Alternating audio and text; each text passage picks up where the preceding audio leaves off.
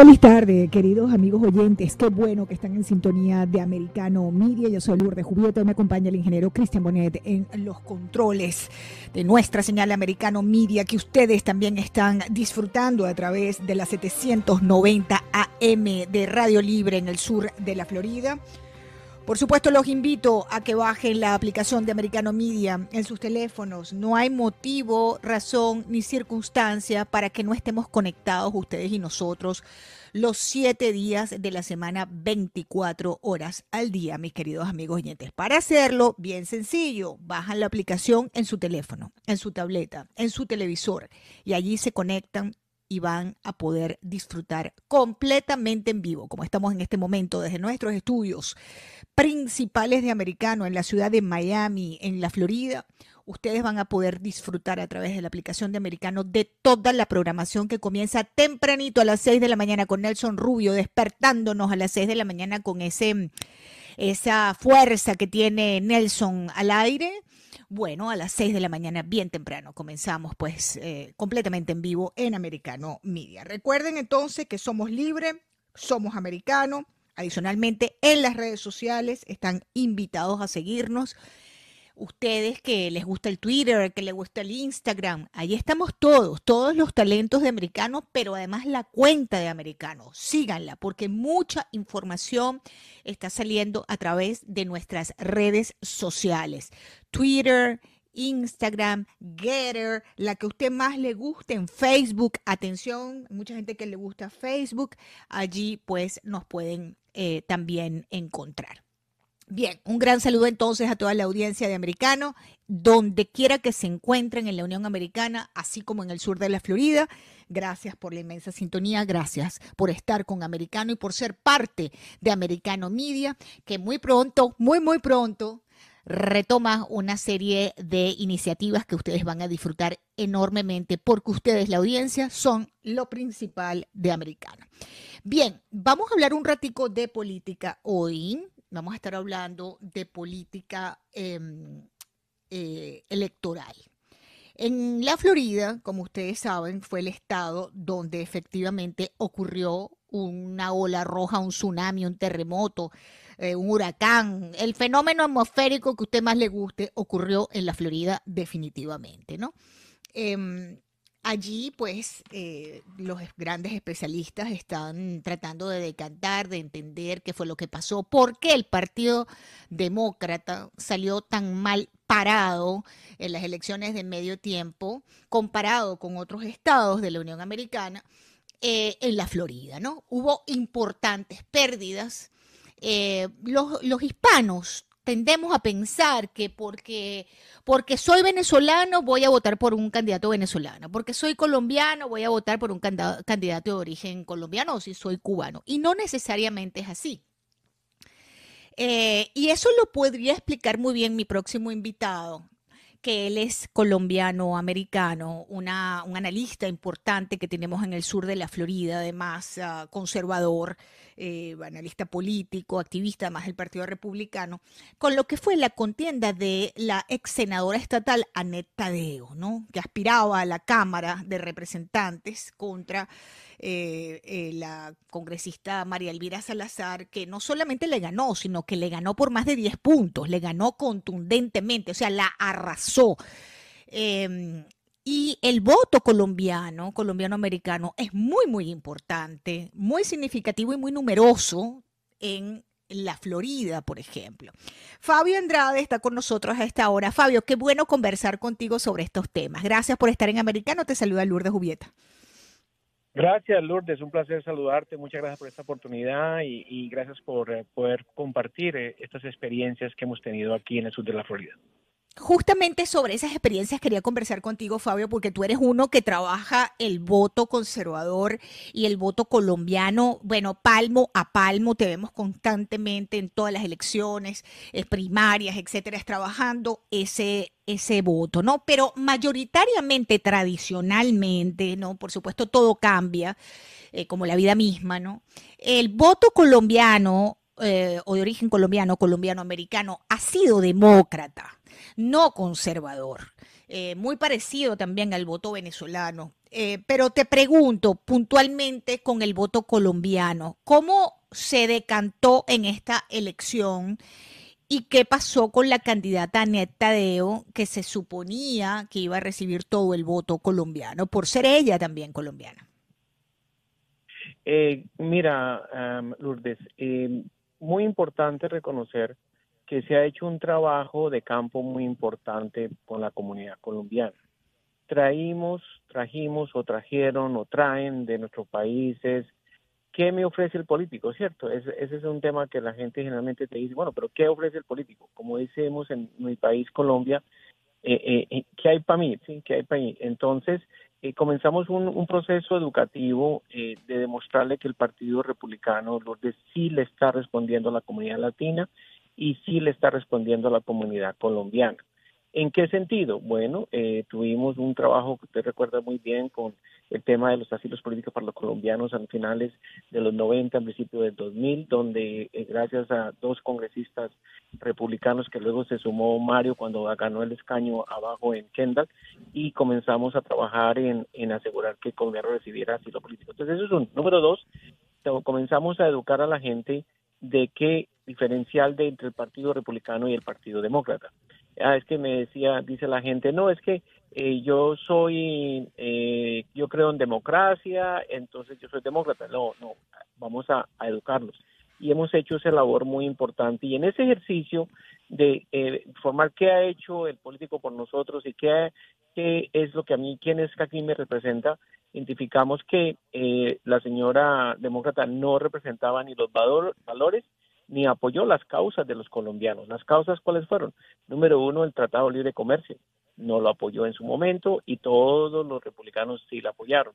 La segunda causa, el tema de, del Tratado de, Paz con Colombia. Tú sabes que un nefasto tratado que es un proceso de impunidad que lamentablemente no fue contundente en ese sentido, mientras que los eh, conservadores sí fueron contundentes contra el tema de ahí.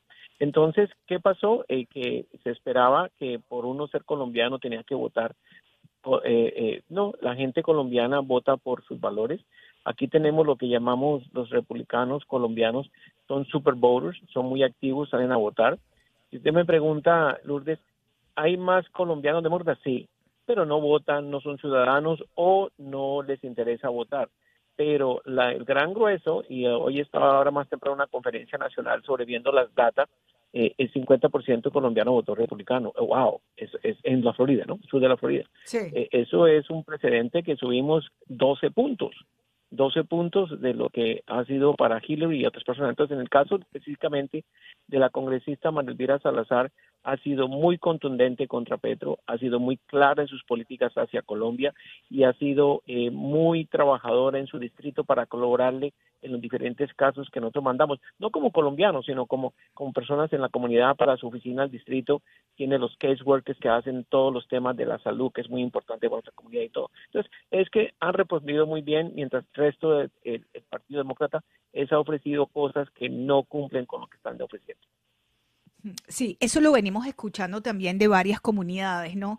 Que no cumplen con lo que ofrecen. Y bueno, vemos el estado en el que está el Partido Demócrata en la Florida. Ahí también ha ocurrido un tsunami, pero de otro tipo. Y eh, están pidiendo em, que destituyan al presidente del partido en, el estado, al señor Manny Díaz, y lo responsabilizan de estas pérdidas.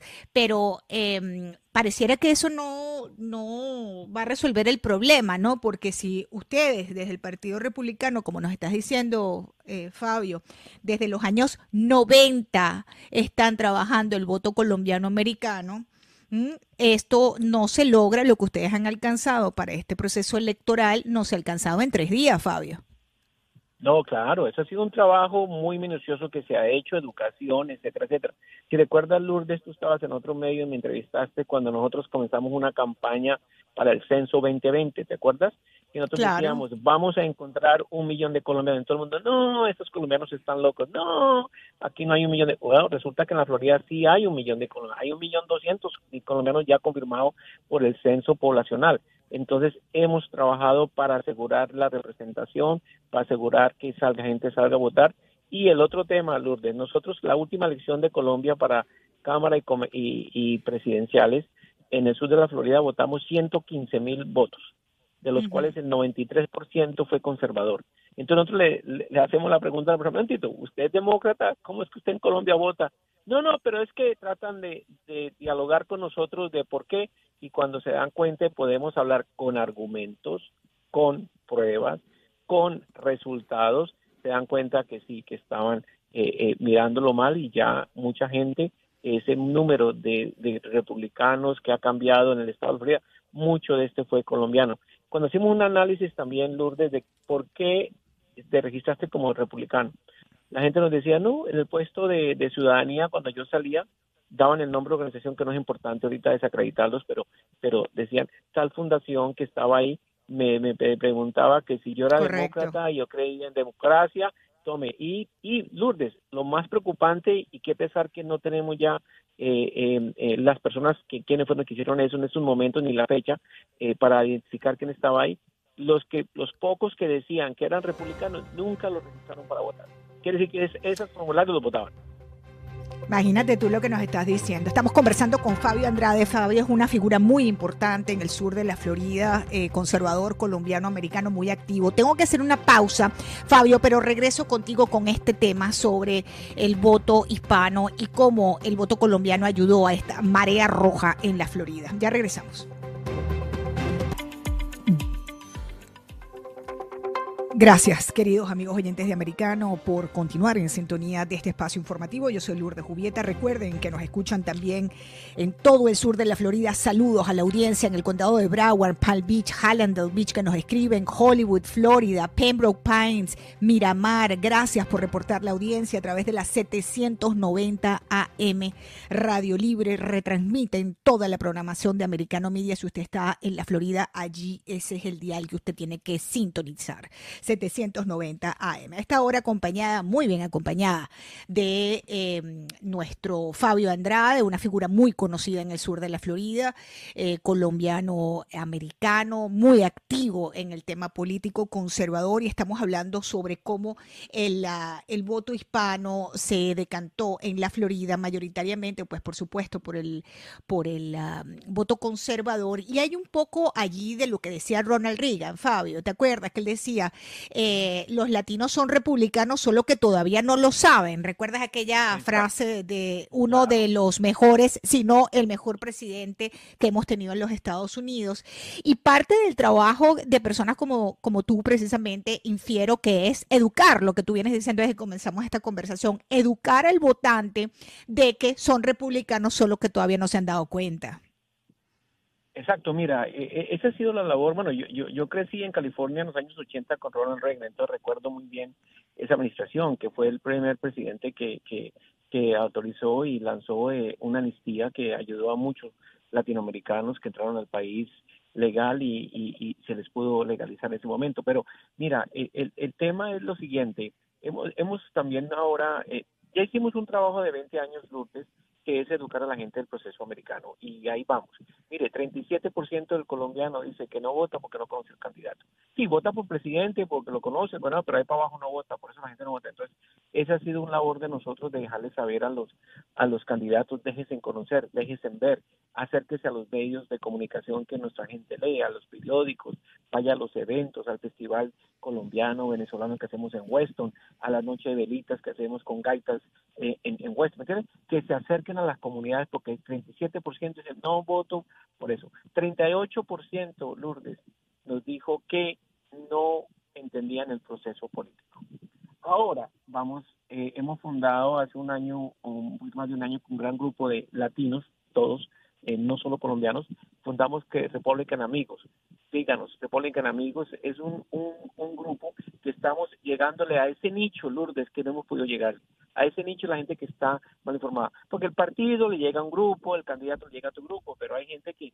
Entonces, eso es un, un, trabajo que estamos haciendo muy bien con República de Amigos, es llegarle a aquella persona que dice, soy ciudadana, no me he hecho ciudadano, pero no entiendo todavía el proceso, estamos tratando de llegarles a ese nicho.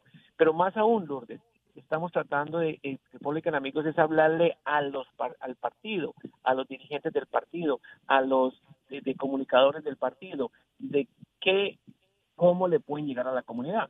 ¿Te puedes imaginar tú, Lourdes, que un candidato en el sur de la Florida sea electo republicano que no hable de Cuba?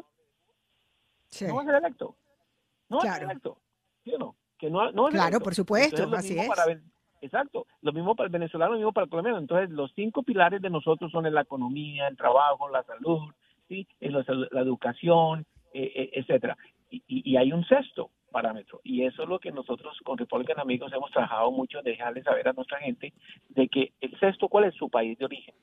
Tóquele la fibra a, esa comunidad del país de origen. En su momento, tú recuerdas, fue Uribe, Uribe, Uribe, apoyar a Uribe, claro. Tratado de Libre Comercio, a, e, el, Plan Colombia, ayudar a Uribe con... Ok, ahora, ¿cuál es?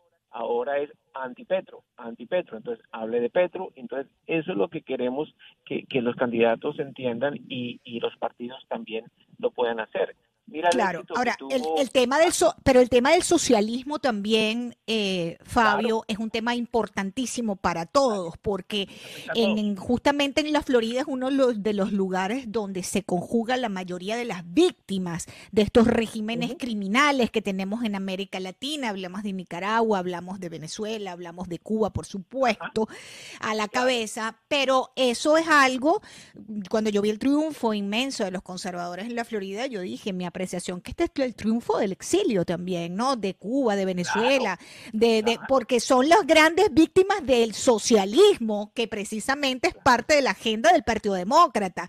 Y, el caso de Anet Tadeo, en el caso de Anet Tadeo, manoseó mucho el socialismo y la gente no quiere socialismo, Fabio. Exacto, exacto. Y eso es lo bueno de, de que el político acá está aterrizado con nosotros, es lo que yo digo en la palabra porque soy de aviación, aterrizado con nosotros, que él entiende muy bien la necesidad y entiende muy bien a su, a su comunidad y le responde, porque es que todos los, los congresistas y el senador Marco Rubio, hasta el gobernador que elegimos, escucha a esta comunidad y saben de lo que pasa en esta comunidad. Entonces, ese sexto factor que, que a veces los analistas nacionales no, no lo cubren y es por eso que tuvo mucho éxito el tema del socialismo, que es hoy día. ¿El socialismo qué es? Contra Petro, contra eh, Maduro, contra, eh, ¿cómo se llama? Lula. Cuba, Nicaragua, ahora tenemos el caso de Argentina, ahora viene todo lo que es el foro de Sao Paulo con Lula en el poder, todo ese tema, pues. Exacto. Entonces eso es muy importante que hay que saberlo tocar y eso es algo que nos toca la fibra a todos, como tú lo dices muy claramente. Nos ha afectado a todos de una manera u otra. Entonces eso eso es clave para para eh, el proceso eh, electoral. Sabes que te escucho, te escucho. Ahora que te escucho a ti y que nos cuentas, y esto es muy importante, amigos oyentes, ¿no? Esto, los, republicanos tienen trabajando el voto latino en la Florida por más de 20 años, puerta a puerta, pie a pie. Fabio eh, eh, es una, un gran activista en esto, lo vemos continuamente y me hace pensar, reflexionar sobre las críticas que le están haciendo a los resultados del Partido Demócrata en la Florida, donde dicen que los responsables, además de la cabeza por ser el presidente del partido, dicen ellos, dicen los demócratas, son haber contratado a esta cuerda de muchachos que ni bien hablan español, ni entienden absolutamente nada de lo que es la realidad de este estado, eh, para que manejaran redes sociales y una cantidad de estupidez en la que se vieron involucrados y que les han dado el traste, les explotó en la cara su, bueno, su incapacidad y su desconocimiento de lo que es la política y de cómo se logra verdaderamente sembrar, ¿no? En la, identidad conservadora en, en, la, en las votantes. Yo no sé si tú estás de acuerdo con esa apreciación, que es de ellos mismos, ¿ah? De ellos mismos, los mismos demócratas haciéndose un mea culpa. No, yo, yo, yo, creo, yo creo que van a buscar esas excusas para poder eh, justificar al presidente Biden, defender al presidente Biden. Ah, eh, eh, ellos tienen algo que, que es muy claro que hacen todo para defender a sus líderes, a pesar que sus líderes son nefastos y no han respondido. Yo, no, yo creo, y hablando con los mismos comunidad que, que decía, no, yo no voy a votar republicano, es, es que eh, defendiendo al presidente Biden, que la economía no está tan mal, que el combustible tiene que subir porque hay que, hay que pagar más por el tema de, de, proteger el medio ambiente. Entonces, no, yo creo que, que el voto hispano, latino, que votó en contra fue claramente contra el presidente Biden y esas políticas nefastas nacionales. aunque yo sé que se ha dicho y se dice que la política es local, pues sí, nos está afectando localmente el bolsillo, ¿cierto? Nos está afectando claramente el bolsillo, nuestra economía, nuestros trabajos, eh, la falta de oportunidades y eso eh, claramente, en mi opinión. Ahora, si tuvieran un, candidato en la Florida eh, para el, el, el, gobernación, nefasto, total. el señor Chris no tenía nada que ofrecerle a su comunidad. lo poco que conocíamos aquí, eh, Aneta Deo, el, el, el, el, conglomerado general, pues definitivamente se, se identificó muy, muy, muy liberal, muy que no representaba nuestros valores y eso es claro y lamentablemente eh, no, no tuvo esa esa oportunidad ahora en, el caso del presidente del partido eh, Manny Díaz bueno yo creo que él tiene que responderle a su partido pero le va a costar muchos años poderse recuperar porque esta ola está pasando que lo estamos sintiendo continuamente de Latinoamérica hacia acá. Eh, las inversiones, la gente que está saliendo de Latinoamérica por tantos problemas y la gente ya conocemos acá que aquí ya se está sintiendo estas irregularidades, Lourdes, de, estos estados donde el, conteo de votos, mira tan interesante, ¿no? El conteo de votos está demorado porque es para republicanos.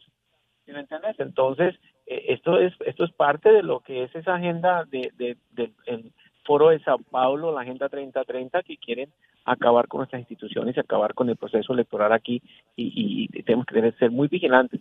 Si alguien me preguntara del Partido Nacional, una recomendación es protejan los puestos de votación Lourdes. En Broward County, no vayamos lejos, en Broward County continúan muchas irregularidades y fíjate que, mm. que aunque nos fue bien, no podemos negar lo de las cifras, pero no ganamos ciertos escaños que se pudieron haber ganado o no avanzamos más porcentualmente porque hay, hay mucha manipulación, de los demócratas en el proceso electoral de, de, Broward County.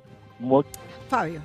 Te agradezco mucho, Fabio. Se me acaba el tiempo que, que, sabroso es conversar contigo. Te agradezco mucho. Eh, por supuesto, seguimos conectados contigo. Muy interesante tu análisis. Y además te felicito por un gran triunfo, porque además Miami-Dade, amigos oyentes, por primera vez en más de 20 años, pasó también a ser un condado eh, republicano, conservador más que republicano. Gracias, Fabio Andrade. Hacemos una nueva pausa, amigos oyentes, en las fiestas. Estamos encarando ya Thanksgiving, Navidad, Año Nuevo, las celebraciones del trabajo, etcétera. Todo eso ataca directamente a nuestra salud porque caemos en excesos. Al regreso, el doctor Alfredo Melgar con nosotros. Continuamos en Americano. Gracias, queridos oyentes y seguidores de nuestra señal Americano Media. Recuerden que estamos en la 790 AM en todo el sur de la Florida. Me escriben también de Homestead. Gracias a los oyentes que están a esta hora circulando por el Torpay. Gracias por escribirnos. Un gran saludo para ustedes, como siempre. Agradecidísimos por todo el apoyo. Por supuesto, Americano Media, la señal que llegó para quedarse, ¿no? La favorita de la comunidad. Me acompaña Cristian Bonet en los controles. Bienvenidos los que hasta ahora se suman al programa. Y bueno, ustedes lo piden y yo los complazco, mis queridos oyentes, porque ustedes son los que mandan. Ustedes aman a mi siguiente invitado. Yo creo que todos amamos a nuestro siguiente invitado porque además tiene un compromiso tremendo con nuestra comunidad y lo ha demostrado a través de los años.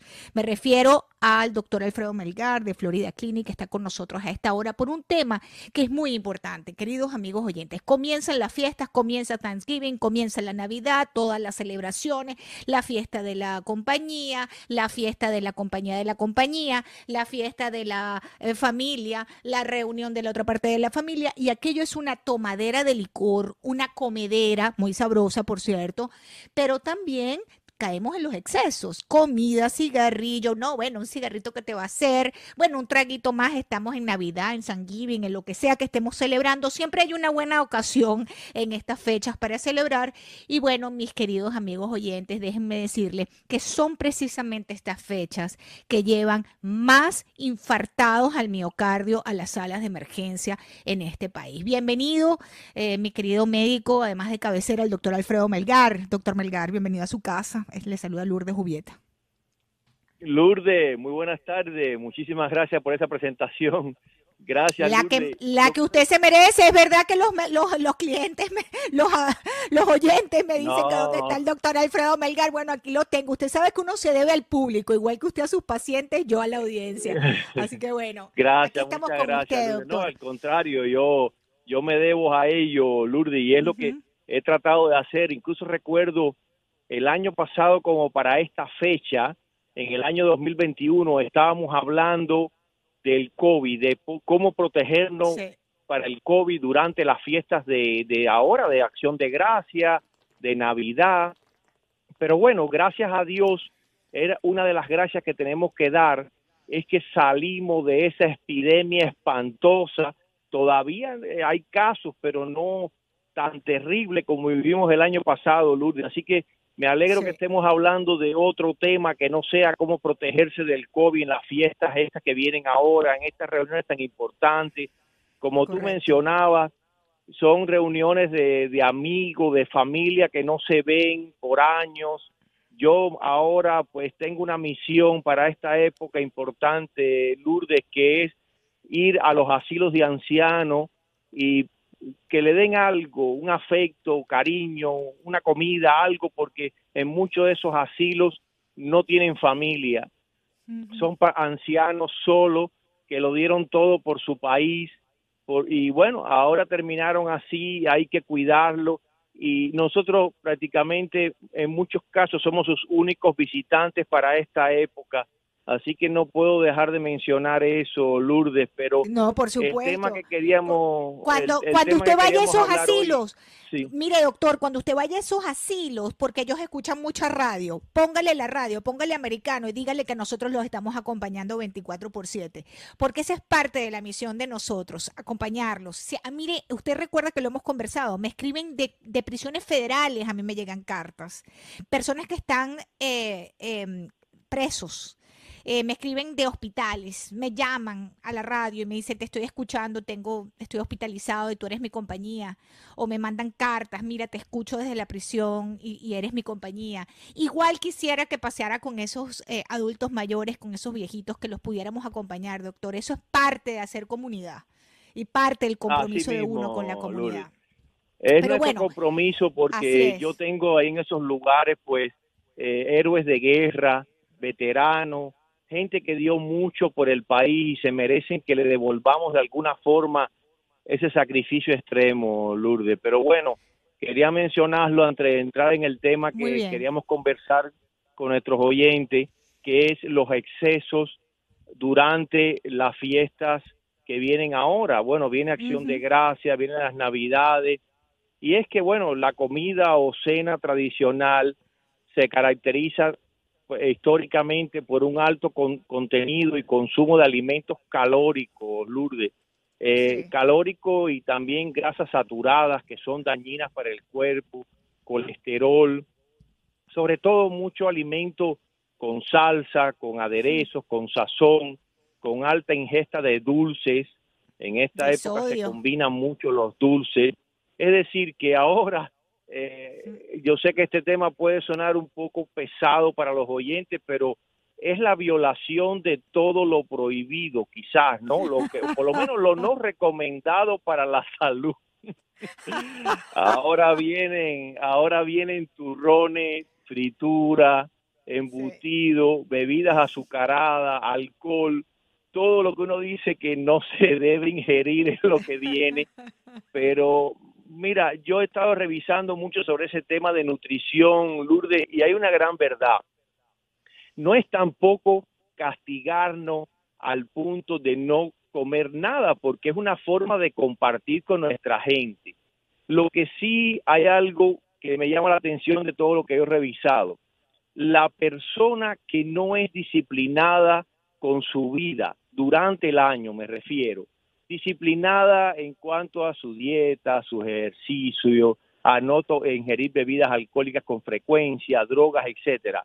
Cuando llega esta época del año y pues un poco no cumple con todas esas normas, no es tan grave como el que lleva una vida desordenada y ahora se le agrega esta carga, eh, si se puede decir, como energética de calorías.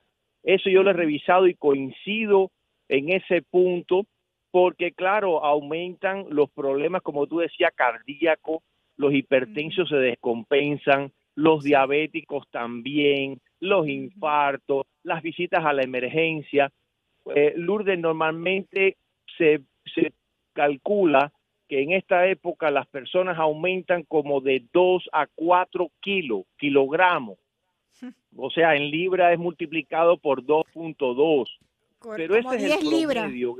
Como 10 libras. Sí, 2.2 en kilo es eso. El aumento de peso, por, eh, por supuesto, eso siempre se ve producto de que todo esto que yo mencionaba es el, las calorías, las grasas saturadas, los azúcares, todo lo que descompensa a la persona y sobre todo en enero, por ejemplo, cuando la gente, los pacientes se van a hacer los laboratorios, usted ve el colesterol ya, le, se subió el colesterol, subieron los triglicéridos que son muy dañinos para lo que es las arterias, arterias coronarias, eh, todo se descompensó, la glucosa, la prediabetes, aunque no sea diabético, cuando se le chequea en enero, febrero la A1C, ya está como prediabético. Y dice, bueno, ¿qué pasó? ¿Qué pasó?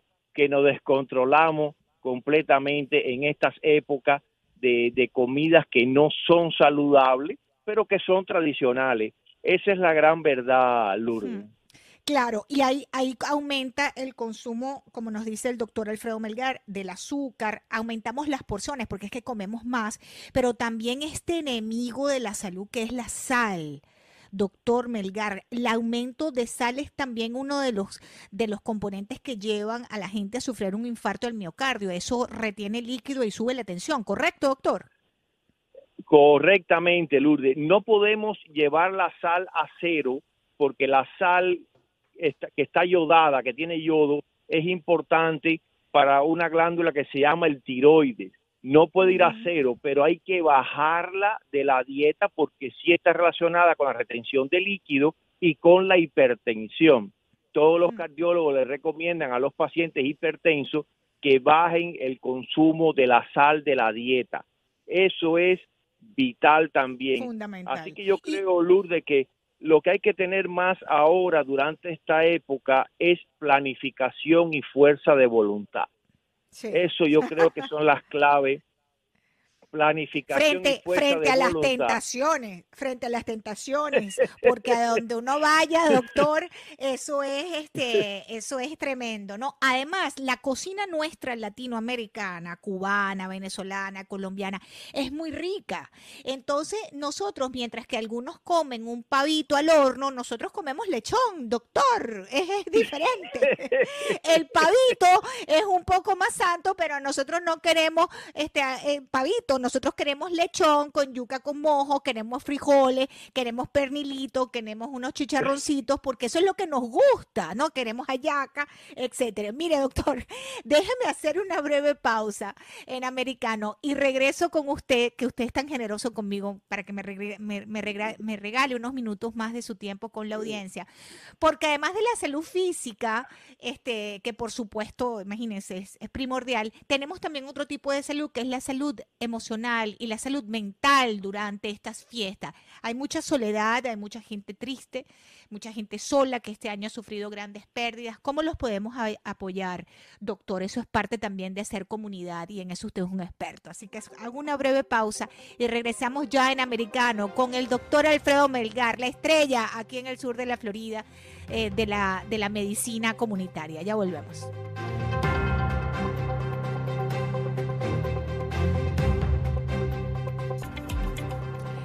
Gracias, mis queridos amigos oyentes de Americano Media y de Radio Libre 790M por continuar con nosotros en el programa. Hoy acompañada del doctor Alfredo Melgar de Florida Clinic, médico comunitario, médico internista, especialista.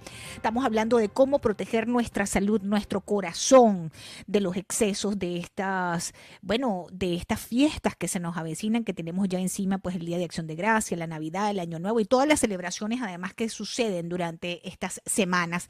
Y el doctor Alfredo Melgar está haciendo un énfasis en el tema de las porciones, de la dieta, de evitar la salud, de evitar eh, también, pues por supuesto, el tema del azúcar, etcétera. Pero doctor Alfredo Melgar, gracias por continuar con nosotros. Hay otro tema que también causa, eh, em, digamos, otro tipo de enfermedades, en este caso emocionales, mentales, como es eh, precisamente las grandes ausencias y la depresión que le causa a alguno estas fiestas, ¿no? no todos están celebrando, doctor. ¿Cómo hacemos para nuestros oyentes que tienen esa mirada triste frente a un día de acción de gracias en soledad eh, o unas navidades en soledad?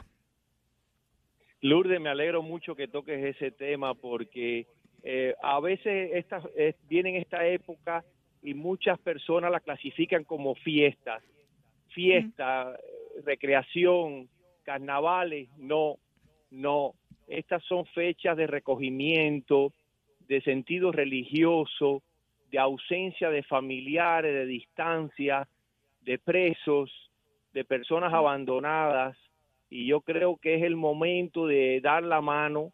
Yo lo voy a hacer por mi parte, se estoy organizando con la clínica, eh, pues salir a la comunidad, darle eh, un poco de, aliento, eh, repartir unos pavos, pero más que repartir el pavo, es ese amor que necesitan. Como decía esa canción tan linda de Luisito Avilés, ven a mi casa esta Navidad. Esa canción es un resumen de lo que podemos hacer. Es como llamar a esa persona con la que nunca hablamos, ese familiar que estamos quizás disgustados por alguna razón. Es, un momento de perdón más que de fiesta. En esta parte de los asilos que te mencionaba, Lourdes, ahí incluye a la gente mayor, a los ancianos, a los jóvenes.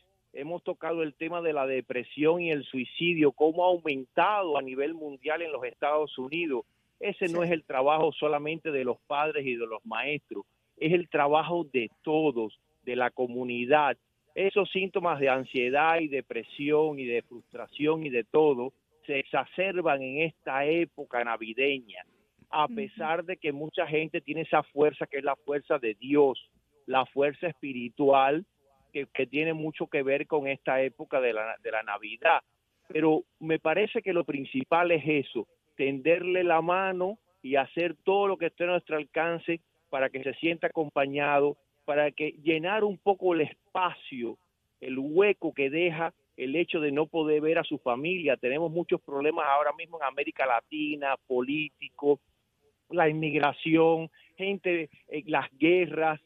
¿Cuánta gente va a estar en este momento solo en las épocas importantes del año? Miles, millones. Así que esto es un trabajo muy grande, Lourdes, que abarca todas las esferas de la sociedad y no se le puede dejar a los psicólogos y a los psiquiatras porque son escasos y no pueden abarcar el trabajo tan grande que conlleva darle un poco de aliento, un abrazo en la distancia en esta época, Lourdes. Yo creo, doctor, estoy eh, completamente de acuerdo con usted porque también estas fiestas nos obligan a estar felices y resulta ser que este año ha sido un año muy duro para muchas personas eh, y hay nostalgia, hay tristeza, hay estrés también, hay mucho estrés. Eh, como usted mencionaba el tema de las guerras, venimos de una guerra, estamos en una guerra terrible en Europa, que porque ocurre en Europa no somos indiferentes a ella y, em, y por supuesto pues las pérdidas que cualquier familia, que cualquier persona haya podido tener, eh, ya sean lutos, ya sean separaciones, lo que sea que haya ocurrido en las vidas de, de nuestros oyentes. Pero yo creo que también, doctor, no sé cómo usted ve esto, que hay que entender que no tenemos que estar felices constantemente y que debemos permitirnos sentir con libertad la emoción, sea cual sea, no reprimirla. Y para eso creo que ayuda mucho eso que usted está diciendo de la conversación, del poder tener alguien con quien hablar y convencer, eh, conversar esas situaciones emocionales, ¿no? Sí, exactamente, Lourdes. Yo precisamente di una conferencia hace poco del suicidio en los adolescentes, que ha aumentado al punto de declararse una emergencia nacional. Suicidio en los adolescentes. Y una de las cosas que yo mencionaba es que el adolescente, el joven, no se expresa. Él nunca va a decir, me siento mal, me voy a matar, tengo un plan. ¿Cómo se puede saber? Por signos indirectos. Y esos signos indirectos se detectan buscando la comunicación que está pasando en la escuela, en su vida familiar, en su entorno. Y el anciano es igual. El anciano se encierra en su micromundo y no, no, no se expresa, no conversa. Por eso, por ejemplo, yo hoy vi a una persona en uno de estos asilos muy deprimido y, movilicé todo el equipo de trabajo. Hablé con el terapista físico, con el nutricionista, con el psicólogo, con la enfermera. todos le dije, hay que sacar a ese señor de la, de, la habitación porque está, está en la cama y eso es depresión. Eso yo creo que es nuestra función. Tenemos que, después del COVID, Lourdes, yo siempre decía, después del COVID el mundo tiene que ser menos egoísta. Hay que desprenderse de ese yo y de ese auto autoestima tan alta y mirar un poco a la gente, porque como hubo tantos millones de muertos, ahí tenemos que cambiar un poco de cómo proteger al otro, a la comunidad, al prójimo, para evitar un desastre así. El mundo ha cambiado y este año que viene yo creo que va a ser un año distinto. Quería mencionar, Lourdes, antes de terminar, que uno de, los eh, de los eh, consejos que yo doy después de esta época de desarreglos que vienen ahora es la desintoxicación. Desintoxicación. Si ya usted no puede evitar esos excesos, pues, ¿qué puede hacer eh, para el próximo año, después que pasa todo esto? El agua es muy importante, la ingesta de agua, el agua limpia el cuerpo, las verduras, la fruta, eh, evitar el alcohol en exceso, el consumo de grasa en exceso, los dulces, la sal, una dieta ligera y el ejercicio no tiene que ser un deportista ni en un gimnasio de esto donde se agote. El ejercicio está demostrado por los estudios que si usted camina 20 o 30 minutos después de una comida, baja el azúcar y baja la presión. Todo eso son recomendaciones para hacer como una vida más saludable, como usted dice, ahora para el año próximo voy a hacer esto y esto. Si puede incluir en esa lista de deseos de que va a mejorar su situación económica, familiar, su salud, que es primordial. Su salud primero y todo lo demás viene después, Lourdes. Y por supuesto, los hábitos nocivos. Aquí me escribe un oyente que su propósito es el cigarrillo, el tema del cigarrillo. Eh, doctor, millones de personas han dejado de fumar, pero millones también continúan fumando. Increíble, ¿no? Es difícil, Lourdes, porque el cigarrillo crea una adicción muy fuerte y entonces uno usa los parches, los medicamentos, todas las cosas. Yo uso una técnica que me ha dado resultado. Por ejemplo, tuve un paciente en el hospital que dice, doctor, yo he fumado 20 años, me da igual. Eh, ya, digo, le mire, usted tiene un nódulo en el pulmón que se puede malignizar. Me da igual, ya yo he vivido. llámame a su familia que está allá afuera. Entra la familia y digo, ¿usted quiere irse de este mundo y dejar a su hija, a su nieto y a su esposa solo en este mundo? usted tiene que cuidarse no solo por usted, por ello, y él y reacciona. Yo creo que eso es una técnica para salir de una adicción tan fuerte como es la nicotina. Yo entiendo que si la persona la deja es como que se, como una droga, pero si usted piensa que, que, que cuidándose usted va a ayudar a que su familia no se quede sola en este mundo, es una técnica que he usado y me ha dado resultados, Lourdes. Bueno, doctor Alfredo Melgar, me quedan dos minutos. Básicamente, redondeando el tema, tratar de evitar los excesos de todo, comida, eh, de bebidas alcohólicas, por supuesto estos vicios nocivos, tratar de, abandonarlos, eh, no dejar de caminar, no bajar la guardia, ¿verdad? Tratar de mantener nuestro ritmo diario y tratar de no estar solos también en función de la salud emocional de las personas. ¿Correcto, doctor? Estás correcta, Luz, no tengo nada que agregar a eso. que Dios los bendiga a todos. Muchas gracias. Viene acción de gracia. Es el día que usted dice, gracias Dios, estoy en este país, tengo mi familia, sobrevivimos al COVID, vamos a seguir. Y después las navidades, también un punto importante de reunión familiar y decir, gracias Señor, gracias Señor que tenemos un año más y el que viene será mejor. Muchas gracias por la invitación y americano, Luz. Gracias, doctor Alfredo Melgar. Y nosotros seguimos juntos, usted y nosotros también, para llevarle todo este contenido tan importante a nuestros oyentes. Le agradezco mucho su trabajo, doctor, y su tiempo en americano. Gracias.